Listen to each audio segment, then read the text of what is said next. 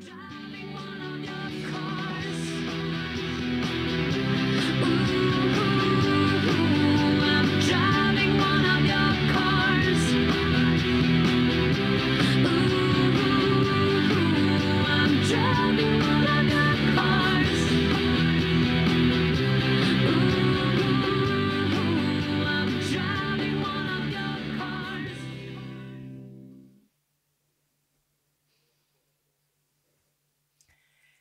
För er som var på keynoten i morse så hörde ni historien om en åttaårig pojke som körde till McDonalds.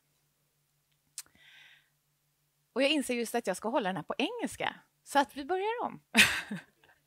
For those of you who were at the keynote this morning, you heard the story about an eight-year-old boy who drove to McDonald's.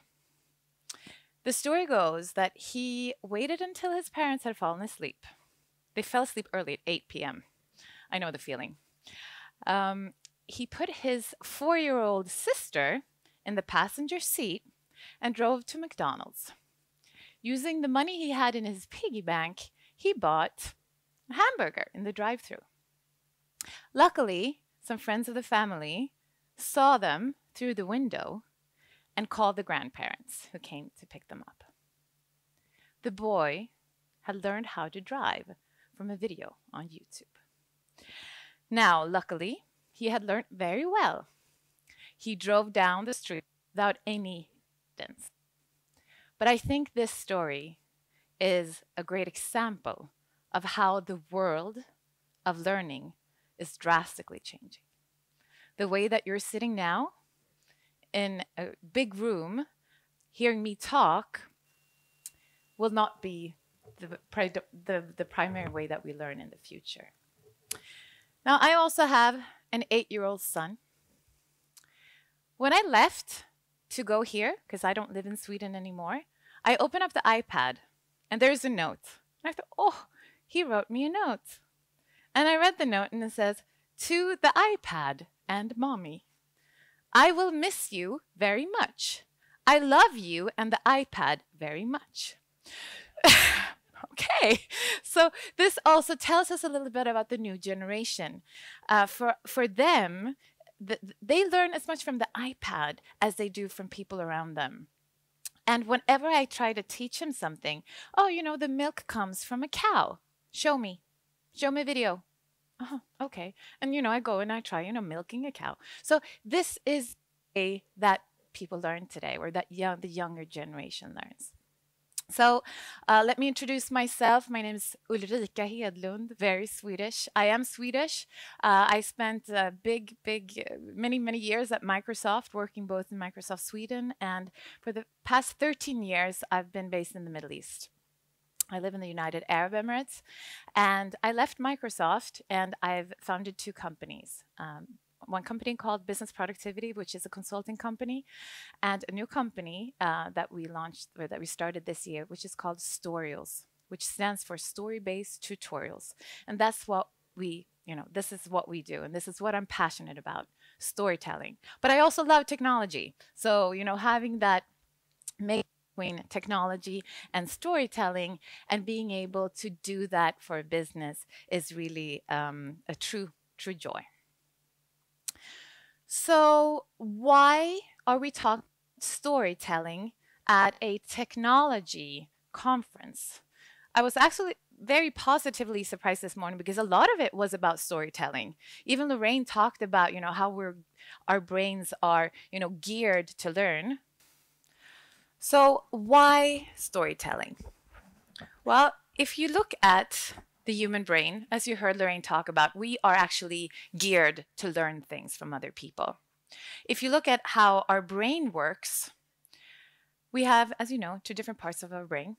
The left part of the brain is all about lo logic. If you see a traditional PowerPoint presentation with items and straight lines, it's our logical brain that triggers. The right hand, the, the right part of our brain is all about our creativity. When we hear music, when we have emotions, when we see pictures, this is the emotional part of our brain. But in order to learn, and when we hear stories, we actually combine both sides of our brain. And this is also what triggers learning in a better way. When we learn something, our brain releases dopamine. And this actually works as the save button of the human brain. The more dopamine, the more we remember. So I can guarantee that none of you are going to forget the story about the eight year old boy because you've heard the story, you've seen it, and it's been repeated. So, repetition is also a way for us to learn. Okay, so we're talking about storytelling, and then we're saying inspire office productivity with storytelling. So, you know, how, how do the two combine? Well, first of all, let's start with our lo logical brain. Let's look a little bit at Office 365. So this has been amazing for Microsoft. Uh, I think you know none of us here in this room are questioning what a good job Microsoft have been doing of telling the story of all the benefits that you can get from the cloud and Office 365. In general, like a 30% year over year growth. If you look at the stock price of Microsoft, uh, of course, this is not only Office 365, but it's definitely injected by it. Now, my husband sometimes asks me if I did the right thing leaving Microsoft. Uh, I started around here and I left and sold my stock around here. And uh, hmm, guess not. so, luckily, I'm very passionate about what I do, and that makes up for it. Um, so Office 365 really holds the promise of a modern digital workplace where we can work from anywhere on any device. We can collaborate with coworkers and partners and customers. And we can automate processes, and it really is amazing and inspiring all the things that we can do. But what does it look like in reality? Many times, users are confused. What's this all about? Sometimes they have no clue. It's quite interesting. A friend of mine, her husband has a um, company, very you know profitable. You know, 14 people. They work in the um, facilities business. And he said, "Oh, I saw that you're coming to Sweden to you know talk. Can you come and we have uh, this new version of Office, Office 365.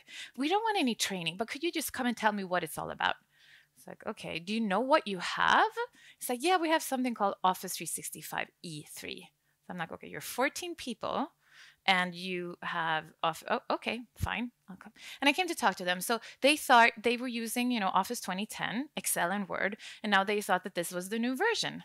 And they knew nothing about teams or the cloud or onedrive or sharepoint.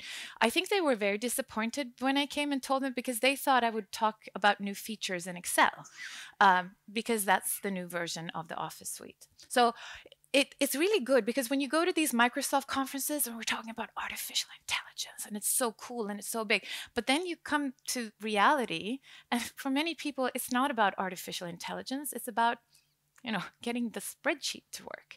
So i think it's important for us to really go back and understand what is what is the situation for our users today Okay, so what are companies doing? And what are Microsoft partners doing to help? Actually, let's do this. Let's do raise of hands. So, how many of you in here work as a Microsoft partner? Raise your hand. Or Microsoft. Okay. How many of you are like customers using Office 365? Okay, so a bit more, more, more than half. Okay, so the question is, you know, what are companies doing about Office 365? Most of the time, when it comes to end user training, nothing. You know, they deploy it, they get the subscriptions, they get the licenses, but then when it really comes to helping their users, a lot of them don't do anything. It's up to users to use it.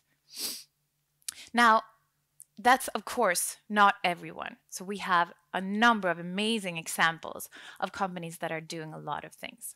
So, who was here last year for my talk? Raise some hands. Okay, few of you. So last year, uh, I was here and I was joined on stage uh, by Cecilia from Avega Group and Göran Vendelius from SAS.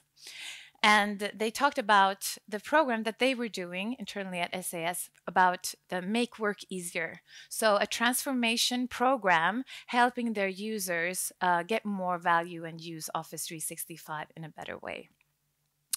And Göran showed this picture that I thought was so good. So I stole it from him and I'm showing it to you again. Um, and it really, you know, pictures what it's all about. So, hey guys, do you want to try this new innovation? Like the wheel, it's good stuff. Like, no, no, no, I'm too busy. I'm too busy in, you know, going through email in my inbox. And that's what we face a lot, that people are too busy doing their job, so they don't have time, um, you know, to, to learn, to learn new things. So how do we get people to change? Because it really is about change. This really is about change management and changing behavior. Well, it's there's no silver bullet. There's no one single answer. There are a lot of things that you have to do. Um, but one of the key things to trigger change is to have people understand why. What's in it for me? And for them to see that value. And we really need to get them motivated and interested. So, this is what we work with. Like I said, to drive adoption, there are many things that you have to do. Um, but the part that we focus on heavily is the storytelling part.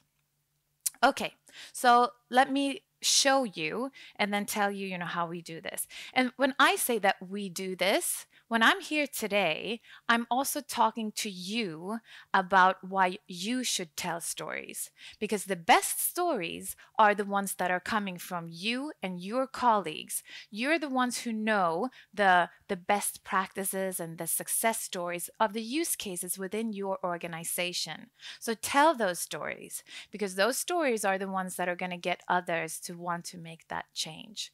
So I'm talking to you not just about what we're doing, but I'm also trying to convey to you that these are the stories that you should tell and that you should share within your organization in order to trigger change and to get that adoption that you want. So, what we did um, so I've been working, like I said, even when I was working at Microsoft, it was always about storytelling. So I have my fr friend and colleague Bo Linda. He knows we did all these theater things. We did a TV show. It was always about how do we tell stories about technology to make it more, you know, attractive to people. So what we did was we came up with this concept that we called a story-based tutorial. So basically what we did, we took a product, say Teams or OneNote, or say what you will. We took the, the, the content of everything that you need to know. We went through, actually, we went through hours and hours of training content. And then we looked at, okay, of all of these features and scenarios and functionalities, what are the most important ones? Like if I had to pick like the top 10, what are the top 10 things that I need to know? We took all of that learning and we put it into 10 minutes.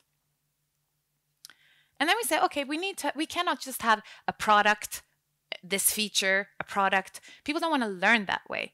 Give us the real life scenario. How and why is this being used? Show, I don't know how many of you have been to these tech events where they demo things and they do demo user one, test one, hello world.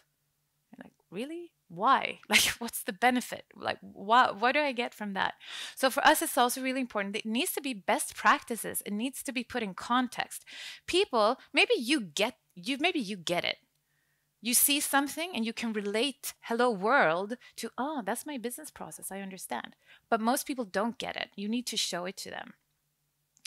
And finally uh, it's really about focus on what you need to know. We're never going to cover every single feature in every single product, but we focus on what you need to know.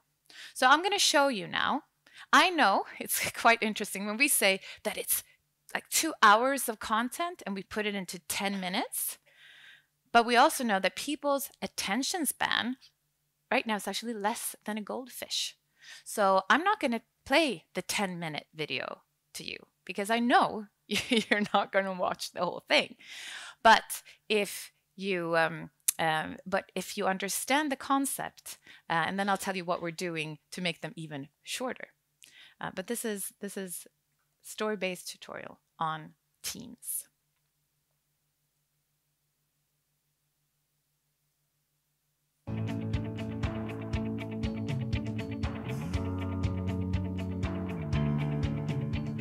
With the launch of our new website coming closer, we're extremely busy. A few months back, the ones involved in the project started using Teams to work smarter together.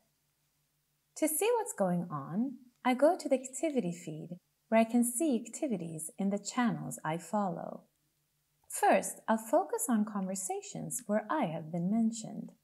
I'll click Filter and select Mentions. I can see a message from Christina where the whole marketing team has been mentioned to provide feedback on our messaging framework. Since I want to spend some time to review it, I'll just like the message to acknowledge it and then click the bookmark icon to save it for later. Next, there's a message from Carlito asking me if I'm okay with the final headshots for the website.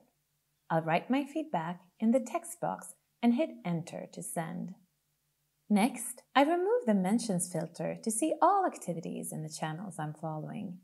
Here I can see that Abdul has liked a message from one of our sales reps who has just signed a deal. I click like to show my support.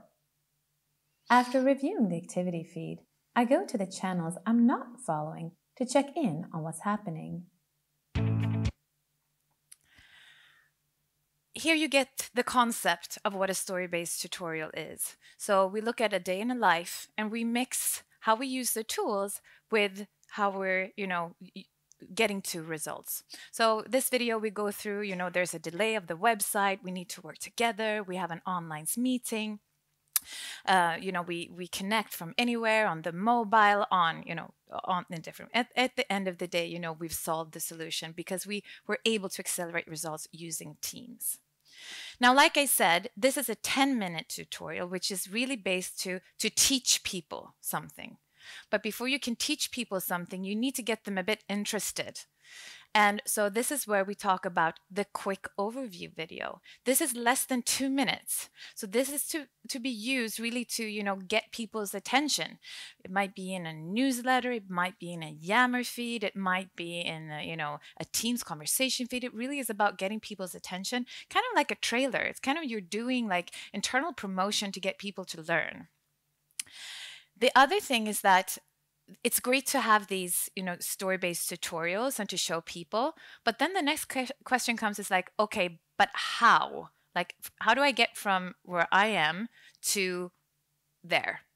So then we also said that okay we need some you know traditional step by step guidance on go here click here open up teams start a team. So it's a bit like boring but it really is kind of those you know step by step for if you're a beginner and you need to start learning. So for the beginners that need to start with something new.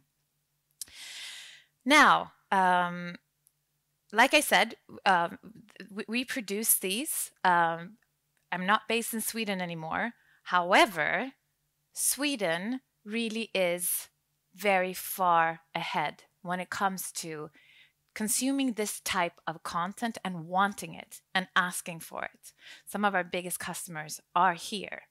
And that's why I'm very happy to announce that we have now taken all of the content that we have for all of these different Office 365 scenarios and usage cases and done it uh, for the Swedish market. So let me just give you a taste.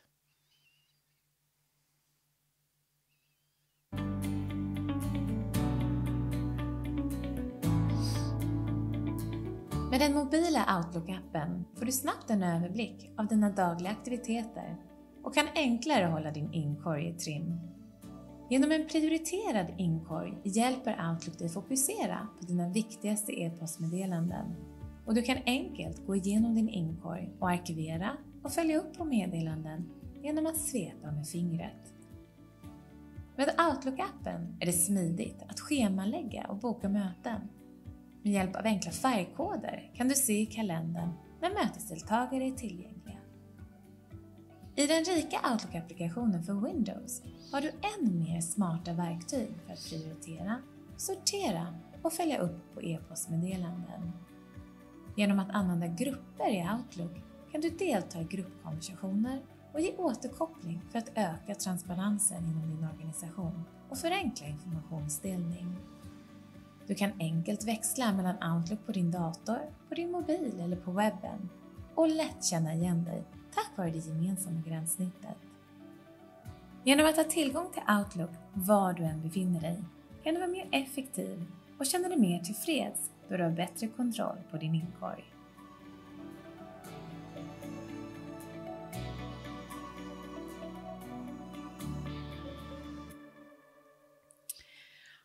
Och då kommer ju frågan att okej, okay, det här är ju jättebra med material, men mm, vi ska inte använda det här eller ja, vi använder det här eller i vår kommunikation, då vill vi att det ska vara med det här. Så att alla eller många, vill ha en specialanpassning utav sitt material och att det ska, vara, att det ska kännas som att det här är någonting som är en del utav ens egen intern kommunikation.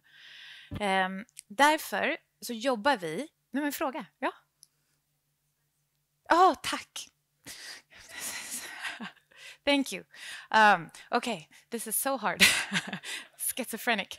Um, yes. So what I was going to say is that the the the the the, um, the content that we have cover kind of the the basic things of Office 365 that you need to be productive. In many cases, organizations want to have their own flavor.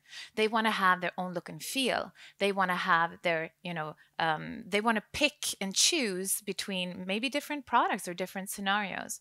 So, what we do is that when we produce our content, we make sure that we can reuse as much as, as possible and we can you know change it so that we can provide it to customers without them having to pay for the whole production cost. So we're basically uh, regenerating content without the customer, you know, feeling that this is something that's not, you know, 100% made for them. So that's also, and the other thing that's super important is that I showed you this video now on Outlook for those of you that have already upgraded to 1809 on the Office Pro Plus, you know that there's a new Fluent banner. It looks different. So every time we do a video, we, you know, we're constantly working on redoing them because Office 365 changes all the time. And if organizations need to provide all of this content themselves, whew, I mean, they wouldn't be doing anything else but just creating your own content. So if we can do that for them or for you, and then you can focus on telling the stories that only you can can tell that are really about the people and the users that you have within your organization. So, uh, what we do is that, again, if you see me standing in front of somewhere, I'm actually not standing there. I'm actually not here. it's um, we, you know, we produce everything in a studio. We use green screen and chroma technology, and this way we can actually make it look like um, we are, you know, in your training room or in your office or somewhere else. So um, that's the that's the magic. so with that magic, I also wanted to talk about you know having content is one thing but we really need to get into the insights to know how to target this learning. Who needs it? How are we using Office 365? Are we paying for these licenses and not using them? Where are we using them? When are we not using them? Now, all of this data, of course, is there, it's available. But how do you turn that data into insight? And so here I would like to introduce one of our partners, uh, Altitude 365. And uh, Ville, come on up on stage. I think there is, is a, a microphone here. I don't know how this works. I think maybe on. on. Hello, hello. Yeah. And you can choose if you. I didn't. I didn't tell you before that this was a session in English. so you can do it in Swedish if you want. But I wanted you to talk a little bit about how you're using the intelligence of data to really understand where to target uh, this training, and of course your your story-based tutorials that we work together on. Uh, yeah, I think so. So this may look a bit complex, uh, and I will be happy to explain everything to you in booth 43, I think.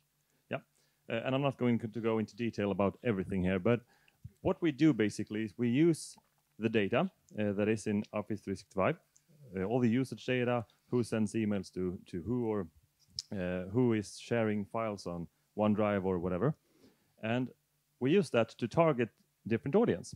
Uh, now you you uh, showed a picture of those guys rolling a, a, a wheelbarrow. Yes. Uh, yeah. Uh, that's a perfect example where we have, for example, uh, managers who are you who are like they are drowning in their emails. Uh, they they live in their inboxes, but they never use Teams and they never use Skype, and they would save a lot of time by using just a little bit of those products, sending shorter shorter shorter messages in Teams or in Skype. Uh, and that's the kind of insight that we can get from this, and then we can direct uh, these kind of videos to those people, making their lives a, a little bit easier. Uh, and another thing that we can do, you, you showed the, the picture of SAS and their super user program. Yep. We usually call them champions, and we use that word about as much as we talk about uh, digitalization these days. and this is also something that we can find using this report or this information, this uh, this usage data. Uh, so we can basically look at who is using uh, all these features in OneDrive uh, on a high level. So they're probably a good OneDrive user. They they know how this uh, how this workload is, uh, is used, uh, what features you can you can uh, use in it, and then we get a list. So so by having 7,000 users, we can dr- uh, drill that down to 50, and then out of those 50, then we can uh, we can choose which ones are actually our champions for OneDrive or for Teams or for whatever. And that's just really short on two things that you can do uh, with this kind of data.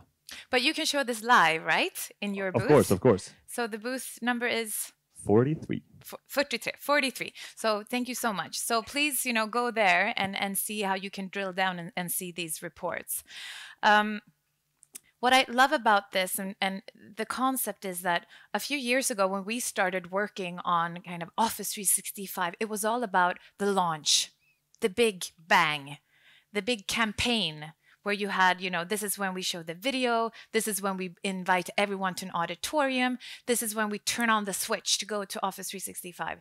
You know what? This is not a one time thing. Going through this transformation is an ongoing journey and something that you need to you know have a very very um, you know it needs to be ingrained into your day-to-day business. Uh, you have different types of users. You have the champions. They don't need much. They're up and running day one. And then you have the other ones that really are resistant to change and that don't want to. So by having this data and having the insight you can also then start targeting. And you need to train in many different ways like i said these different activities different people want learning in different ways uh, and that's why you know it's it's not just it's not a big bang office 365 this is really something that you need to to work on continuously. Uh, it was interesting i actually since it was one year ago that i um, um, had Göran speak here at tech days i had lunch with him yesterday. And so i asked him like okay it's been a year uh, since you kind of kicked off your uh, um, modern workplace with avega group. How is it going now like year two of this program? And he said like what are the lessons learned? And what he said he said number one you need to use a carrot and stick methodology because it doesn't matter how much great content you produce. You also need to sometimes, you know, put that stick in. Uh, and this in, in different ways. Uh, it might be that you, you know, turn off G Drive or H Drive or whatever drive you have and force people to go to the cloud. Um, it might be in terms of you know training uh, it's mandatory. You have to complete this. You have to do these. Um, the other thing he said is that um, something that uh, good learning is really that it, it takes time. It's great to have these power dashboards and you're like you know you do something and you go back oh, this, oh has it changed? It's like it takes time. You cannot expect to have those instant you know increases in in productivity. It takes time and the third thing that he said is also that has been very useful for them is that when they target this type of you know activities, and one that's very useful is to go to leadership teams. Um, it could be, you know, the global leadership team, but also to the different business units, to the leadership teams, and introduce teams to the team. Don't you just love the word teams? Um, because it is, is it's a unified group they often want to share information with each other. They want to have constant, you know, conversations, and they don't. They also want to have kind of that transparency that everyone, uh, you know, is invited to meetings, no matter you know where you are in the world. So he said that also has been very, you know, a, a good, you know, activity to do to really focus on on the the leadership, because then also you get those as advocates uh, working down. Um, three things long term. Yep. So those were the three three things he said. So he said said hi. um, so when we're talking about video, uh, and again, this goes back to any type of a video, videos that you do with your, you know, CIO or with your users talking about how they're using Office 365. It could be, you know, uh, tutorials. Maybe you do a specific video on your own, like intranet or on anything. How can you then, you know, deploy these within your organization? Well, there are many different ways that that you can do this. Um, so one way and this is the way that that uh, SAS did it. They they build like a communication site in Office 365, and then using so if you have that type of license, so E3 or E5 and some others, you have something called Stream, which is a video streaming platform that's part of Office 365. So you can use that as as your kind of you know distribution method if you will of having videos. And it's very you know of course well integrated with office 365 you can you know embed from you know yammer and use this video in many many different ways and you get statistics on views etc so um, this is you know this is one way to do it. Um, there's one challenge, uh, and especially that we're facing with this in the type of content that we have. And that is because the content changes all the time, it updates all the time. And for those, how many here have are using Stream as a video streaming service? Okay, so about you know half. You also know that it works just like YouTube. Every time you have a new version of a video, you have to upload it as a new video. So you lose all of your statistics, you view, you know, the embed code that you've done, you, you lose that. Um, so this is a challenge, especially with content that, you know, it's not a new video, it's just kind of some updates to that video. And also building these communication sites, for some people, it might be super easy. But if you look at smaller organizations, just, you know, oh, creating a nice looking communication site, it might not be that easy. Uh, and this is something that Microsoft are aware of as well. Um, earlier this year, in May, um, they introduced something called Microsoft Training Services, but don't remember that name. Cross it out. Um, because they changed it. So we'll just go directly to what it's called now. So it's called Custom Learning for Office 365. So this is not out yet. This is something that's in pilot right now. Um, and it will be released uh, end of December, January. So I've been told. We're working with Microsoft um, as a partner to create um, this, you know, to our content as part of it. So, what is the custom learning for Office 365? So, basically, Microsoft also understand that organizations are creating their own content. Uh, organizations are sometimes using all of the great videos on from Fast Track from Microsoft on how to do things, but they're also creating their own or they're using a content provider such as ourselves to help them with content. So content is coming from a lot of different places, but how do we source these this in a simple way? And also how do we guide our users? How do we give them different, you know, playlists and different steps? And not only video-based learning, you want to check that knowledge. You want to make sure that people can answer questions that you check that they've actually learned what it is that you're trying to teach them. So Custom learning, this is not a new app. You will not find this tile on Office 365. This is basically open source code So this is, will be available for everyone to, to download and install in Office 365. But what it is, you can easily customize this. So you can, you know, change the, the, the videos, you can change the images, um, you can, you know, create your own different types of playlists. So basically it's a framework with web parts uh, and it also enables you to build this custom training journey within your organization. So for instance, here you have start with six simple steps. So here you have, for instance, welcome to Office 365. Here's an, a video, but this is not actually in your uh, in the Office 365 tenant. This is just using embed code, and the video is hosted at Microsoft. So when the new version of this video comes, it will automatically be updated.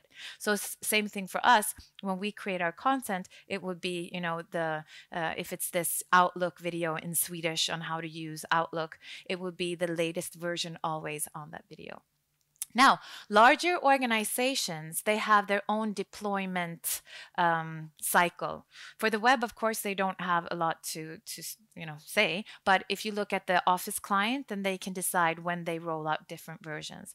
So this is also a way for us to, you know, work with the end customer to understand when are you releasing this version of Office? When do you need to have the latest updates, etc. But it really helps the distribution of content and makes it a lot easier. So there is a um, um, uh, frequently asked questions. Uh, here you can see the link, uh, and it's called Custom Learning for Office 365. Um, so that's something that you can uh, look forward to. I talked about some of the lessons learned uh, that Göran from SAS had to share. Um, this is something that we see over and over and over again. Great content, giveaways, gifts, beautiful stuff. Yeah, great. I'm too busy. Mm-hmm. Ah, yeah. the stick. You really need to have that in your organization.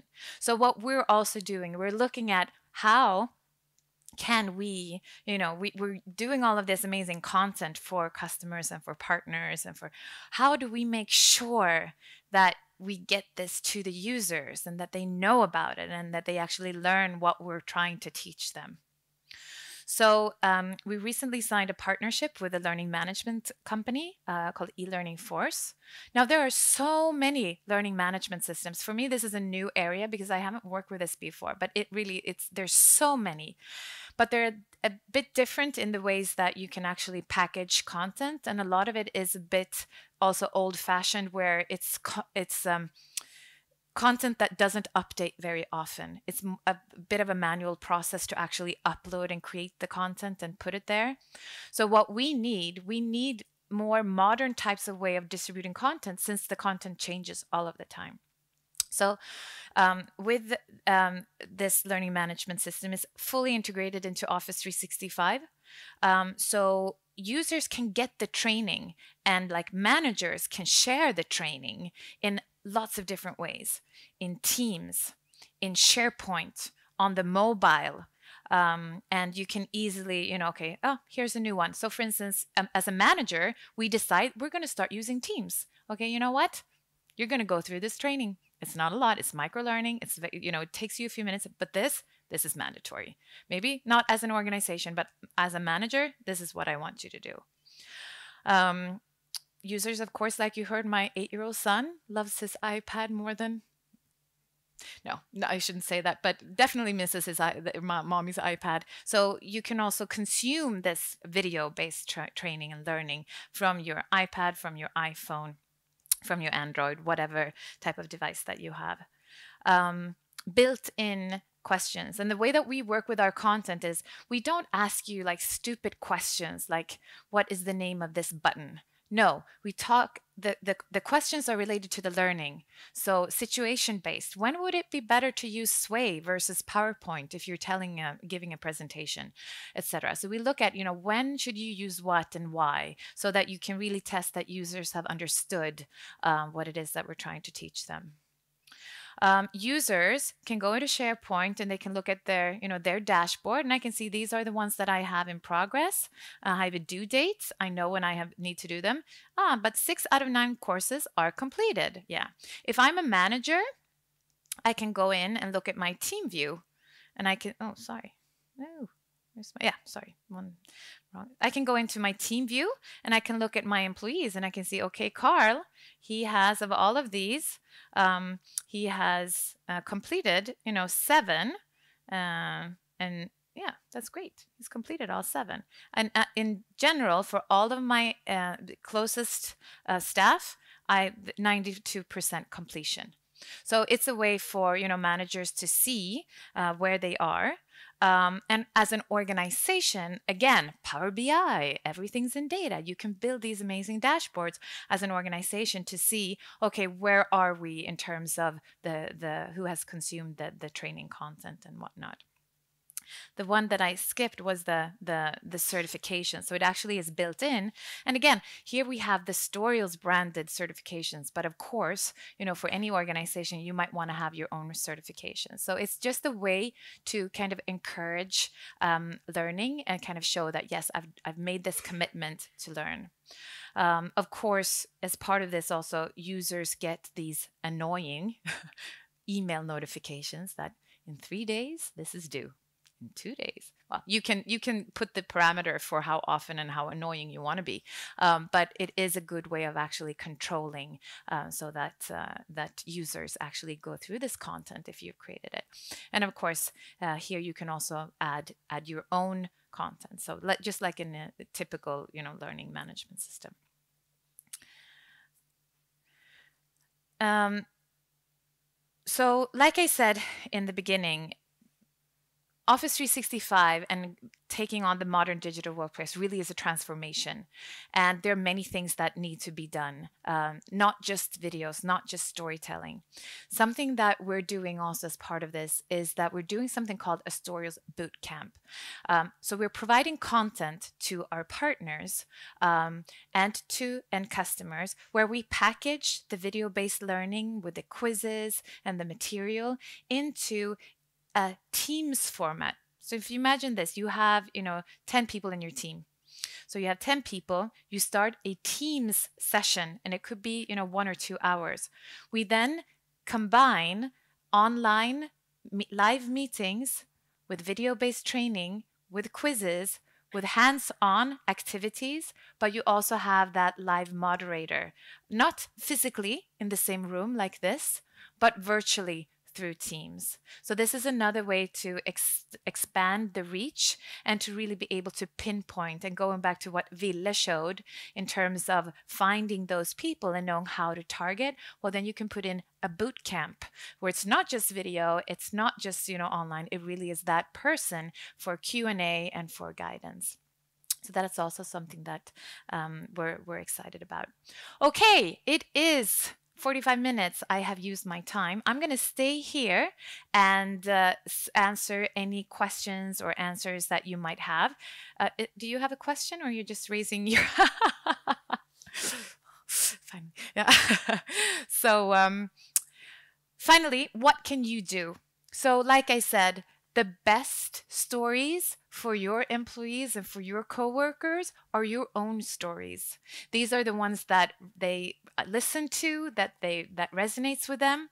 So spend your time on telling those stories and then let us help you with, you know, stuff that are kind of the generic product-based, you know, storytelling.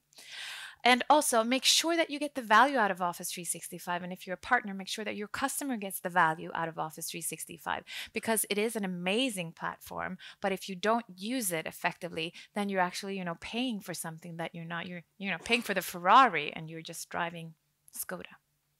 No offense. Um, please connect with me, uh, with us, and with our partners, and have a lovely day. And please fill out the evaluation form. Thank you very much.